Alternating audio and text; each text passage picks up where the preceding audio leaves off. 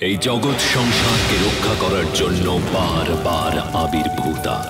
কখনো তিনি সতী, কখনো বা পার্বতী, কখনো অন্নপূর্ণা।